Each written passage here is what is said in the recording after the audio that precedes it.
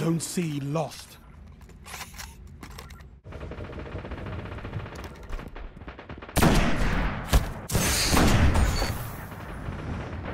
You neutralized Zone B.